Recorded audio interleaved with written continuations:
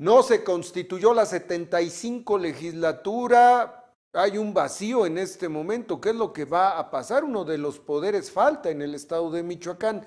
Le agradezco a Óscar Escobar, coordinador del grupo parlamentario del PAN, que esté tomando la llamada.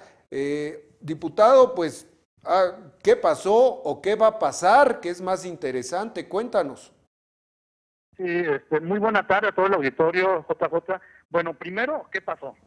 Lo que pasó el día de hoy es un acto sin precedentes en la historia de nuestro Estado. Hay un grupo de manifestantes desde hace algunos días que no han permitido el acceso al Palacio Legislativo de Michoacán y hoy que teníamos la encomienda, como lo marca la ley orgánica del Congreso del Estado, de acudir a instalar la 75 legislatura, no hubo condiciones.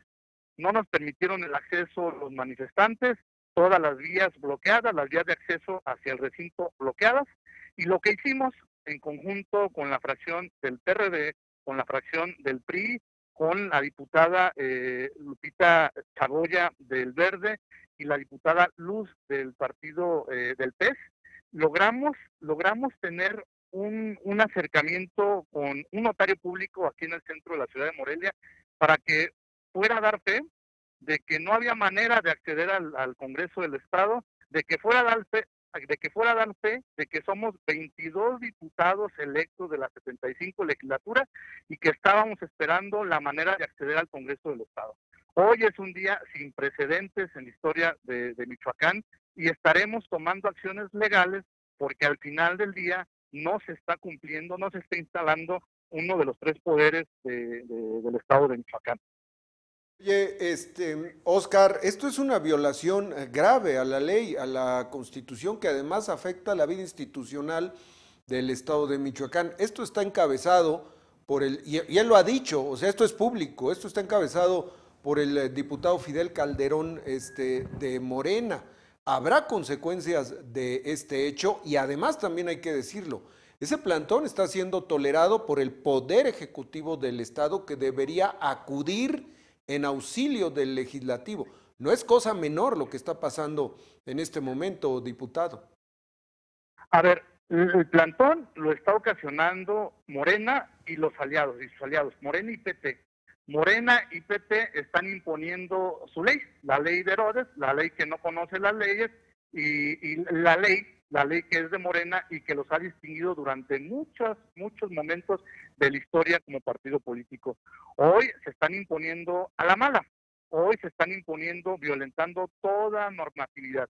Y evidentemente esto no lo podemos tolerar. Mañana, el día de mañana o hoy muy tarde, estaremos tomando la determinación de si vamos a tomar una, una sede alterna para poder tomar protesta o si vamos a esperar a que estos manifestantes se puedan retirar del Palacio Legislativo. Lo que nosotros le estamos diciendo a la sociedad es que no podemos permitir que se sigan violentando las instituciones a capricho de un grupo minoritario en este momento. Entonces, evidentemente, vamos a hacer valer las leyes, vamos a hacer valer la mayoría legislativa que representamos entre el verde, entre el PES, entre el PRD, entre el PRI y entre Acción Nacional. Y eso yo estoy seguro que es parte de lo que nos tienen miedo porque estamos representando una mayoría legislativa en la siguiente, eh, en la 75 legislatura.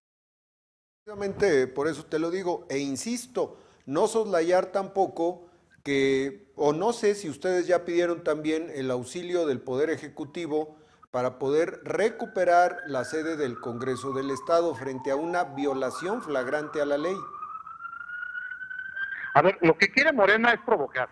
Lo que quiere Morena es que el Ejecutivo mande a la policía, a la fuerza pública y que los corra. Es lo que quiere Morena, la provocación.